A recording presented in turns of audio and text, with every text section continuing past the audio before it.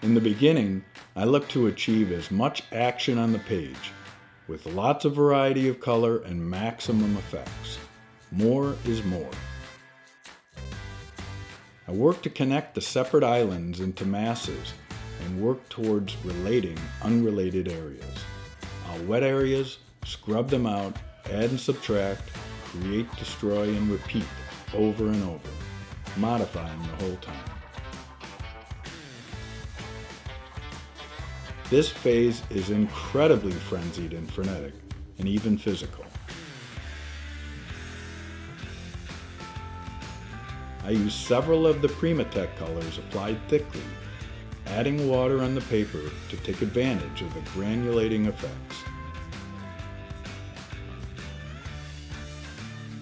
I mix directly on the paper and allow the paint to drip, run, and splatter as it will.